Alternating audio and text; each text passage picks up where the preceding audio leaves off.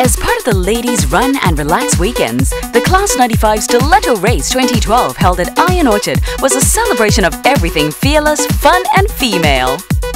Women from all walks of life turned up for the challenge to run 100 meters in stilettos. Last year I was here and then so I thought I'll do it again. I joined for the sake of fun. Husband was the one who told me about the, the race and he encouraged me to, to come. Nothing was left to chance as participants jostled for position at the start. Cheered on by the crowd, they got off to a flying start as they made a dash for the finishing line.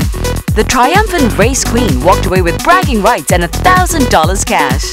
Prizes were also awarded for sexiest heels, best dress and sexiest legs.